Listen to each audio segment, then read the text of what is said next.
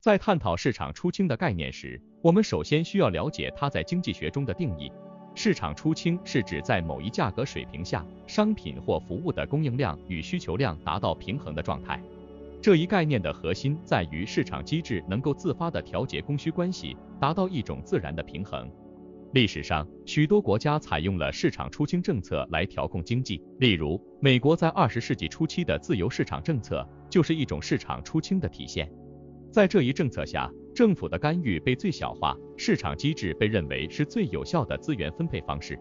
然而，这也导致了一些问题，如一九二九年的大萧条，展示了市场出清机制在缺乏适当监管时可能导致的经济波动。在现代经济环境中，市场出清的概念仍然被广泛讨论。一方面，有观点认为，市场出清作为一种自然调节机制。能够有效地响应经济变化，实现资源的最优配置。另一方面，也有声音指出，完全依赖市场出清可能会导致资源配置不均、社会不公等问题，尤其是在某些关键领域，如教育、医疗和公共安全。那么，市场出清是否真的能够自我调节，达到经济的稳定与增长？这取决于多种因素，包括市场结构、政策制定者的智慧以及对历史经验的深刻理解。事实上，市场出清政策的效果往往与特定国家的经济状况和政策环境紧密相关。正因如此，不同国家在应用市场出清理论时的做法各异。在深入探讨市场出清对现代经济的影响之前，我们不妨回顾一下这一概念的历史渊源及其在不同国家的应用情况。这不仅能帮助我们理解市场出清政策为何会被采用。还能揭示这些政策所带来的深远影响。接下来的内容将聚焦于市场出清在不同国家的实践例子，以及这些实践所反映出的经济理论与现实的差异。我们将探讨这些政策的成败得失，以及他们对现代经济政策制定的启示。亲爱的朋友们，非常感谢你们一直以来的支持和鼓励。我们在 YouTube 社区发起了一个投票，希望听听你们的声音。这是一个展现我们共同价值观的绝佳机会，请来表达你的看法，让我们一起探讨和分享。你可以在视频下方的评论区找到投票的置顶链接，期待你的参与。在二十世纪初，美国经济体验了前所未有的增长，这一时期也被称为“咆哮的二十年代”。这种增长在很大程度上得益于市场出清政策的实施。这些政策强调最小化政府干预，允许供需自然平衡。一九二零年代的美国经济特点是快速的工业化和技术创新，如汽车和广播的普及。这些技术的发展带动了大量的投资和消费，推动了经济的迅速扩张。同时，股市在这一时期也经历了空前的繁荣，吸引了大量投资者投入资本市场。然而，市场出清政策也有其缺陷。以一九二九年的股市大崩盘为例。这一事件暴露了市场自我调节机制的局限性，在没有足够监管的情况下，股市的过热导致了泡沫的形成，最终崩溃导致了大萧条的开始。大萧条期间，美国的失业率飙升，很多企业破产，经济活动急剧下降。这一时期的另一个例子是房地产市场。在一九二零年代，由于信贷的广泛可获得性和对经济增长的乐观预期，房地产市场经历了快速增长。然而，随着经济环境的变化，这一市场也迅速冷却，导致价格下跌和投资者损失。通过这些例子，我们可以看到市场出清政策在美国的应用是双刃剑。一方面，它促进了经济的迅速增长和技术创新；另一方面，它也导致了经济的不稳定和最终的崩溃。这些经验表明，在实施市场出清政策时，需要谨慎考虑市场的监管和干预，以避免潜在的经济风险。这一历史经验对现代经济政策制定者提出了重要的启示：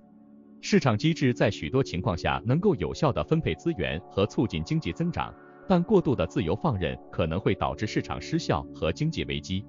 因此，在设计和实施经济政策时，需要平衡市场自由和适当的政府干预。在大萧条的阴影下，美国经济经历了深刻的转变。市场出清政策的实施，尤其是在二十世纪三十年代初期的情况下。展现了其局限性，在没有充分的政府干预和监管的情况下，经济自由放任导致了市场的过度波动和最终的崩溃。这一时期的经济转变为我们提供了对市场出清理论的深刻洞见。首先，股市崩盘后，美国经济陷入了长期的衰退，企业因为需求减少和信贷紧缩而大量倒闭，失业率飙升，消费者信心下降。这些因素共同导致了经济活动的急剧减少，进一步加剧了经济萧条。此时，市场出清理论的自我调节机制显然无法解决这些问题，反而需要政府的积极干预来稳定经济。其次，面对经济危机，美国政府开始转变其经济政策。罗斯福总统的新政是对市场出清政策的明显转变，他强调了政府在经济调节中的积极作用。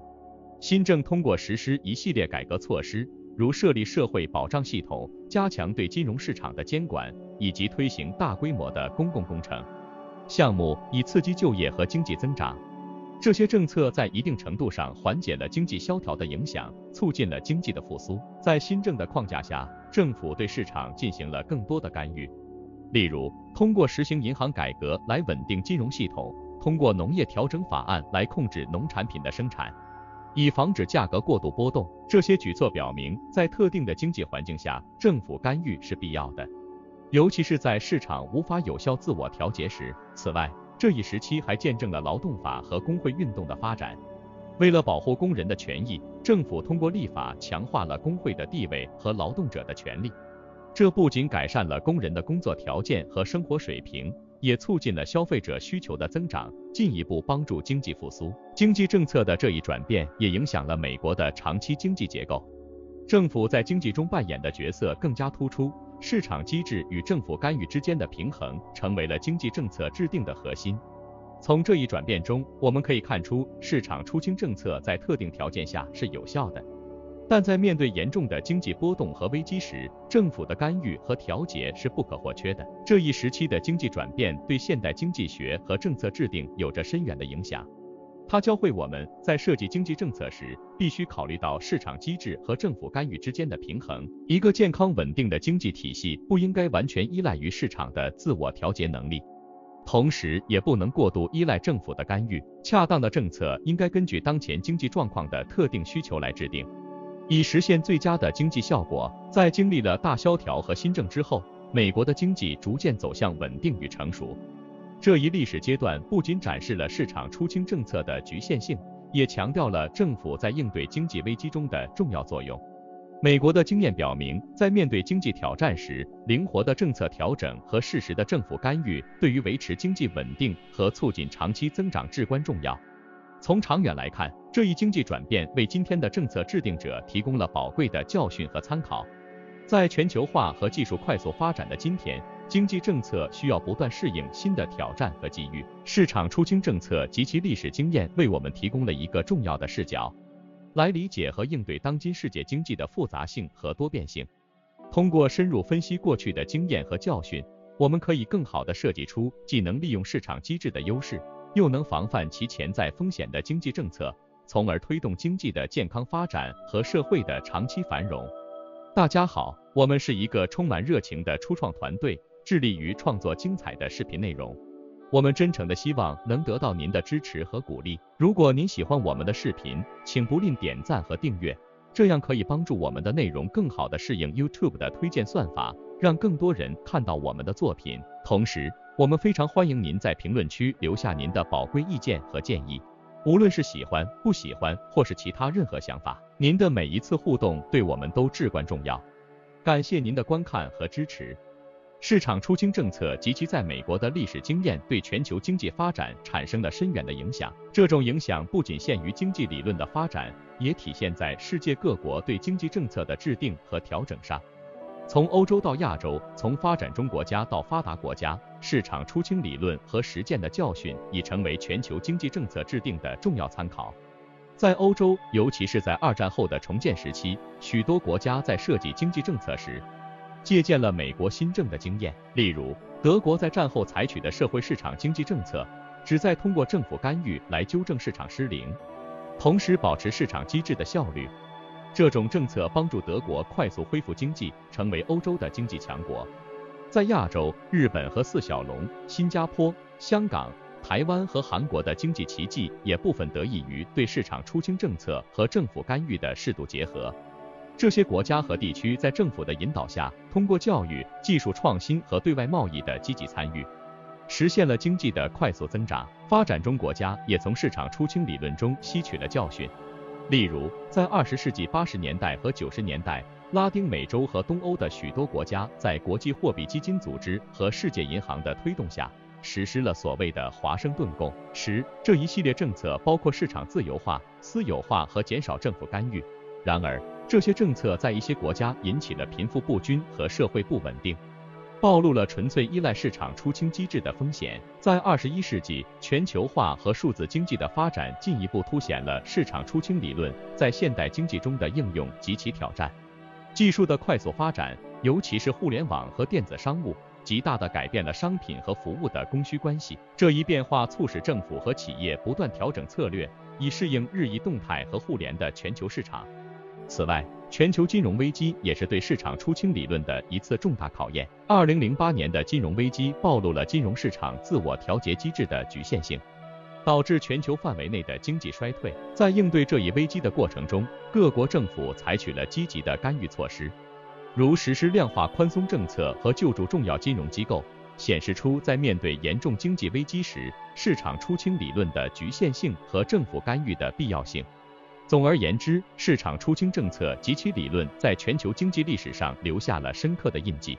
它不仅影响了经济政策的制定，还对全球经济结构产生了长远影响。从二十世纪的美国到今日的全球经济，市场出清理论的实践经验教训，对于理解和应对当代经济问题具有重要意义。这一理论的历史和全球应用表明。一个成功的经济体系需要在市场机制和政府干预之间找到恰当的平衡。市场出清在某些情况下可以有效地促进资源的合理分配和经济增长，但在其他情况下则需要政府的积极参与和调节，特别是在经济危机和市场失灵的情况下，适当的政府干预变得尤为重要。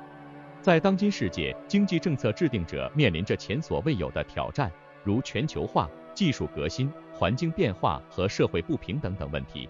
在这些挑战面前，市场出清理论及其历史经验为我们提供了宝贵的洞察力。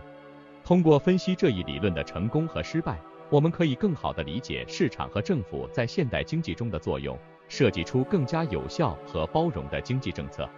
以促进全球经济的稳定和长期发展。随着全球经济格局的不断演变和新的挑战的出现。市场出清理论及其应用将继续在世界各国的经济政策制定中发挥关键作用。了解并吸取这一理论的历史教训，将帮助我们更好地应对未来经济的挑战和机遇。